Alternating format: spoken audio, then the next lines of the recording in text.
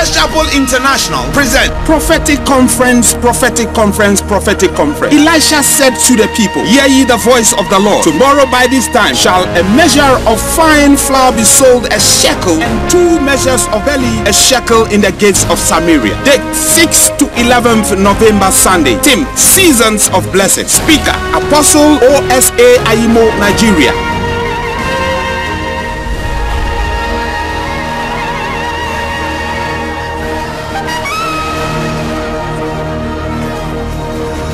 Host Prophet Isaac Anto. Jesus says, I am the way, the truth, the life.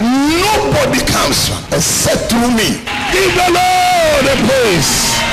Jesus will be there to minister to you. Come and you will never be the same again.